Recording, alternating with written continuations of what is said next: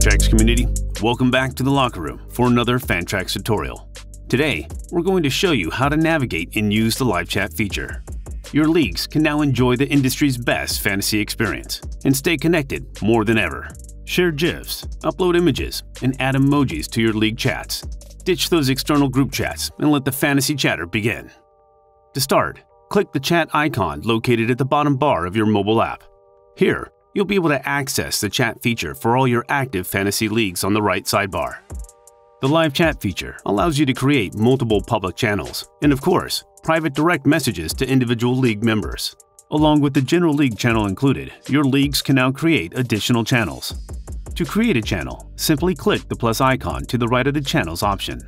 Enter the name of the new channel and select the league members to be included. The sliding tab allows you to include all league members or select specific members for this channel, and then click Create. League members can be added and removed at any time. To create a private message, simply click the plus icon to the right of the message option and select the league members to include in the chat, and then click Create. Once users are selected, messages are permanent and users cannot be added or removed. Messages are private and can be created for individual conversations with one or multiple league members. To see which of your league members are online, click the All Users icon at the top right. Members who are currently online will be indicated by a green highlight surrounding their team logo. To receive push notifications for new messages, simply click on the chat setting icon located at the bottom of your screen.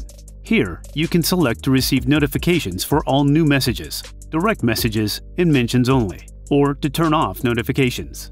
You can also manage notifications for individual chat groups by selecting the setting icon located at the top of an individual chat group. Simply click the chat settings to delete a channel. You can also hide a message group by clicking the X. To delete an individual message, click and hold down on the message and select Delete.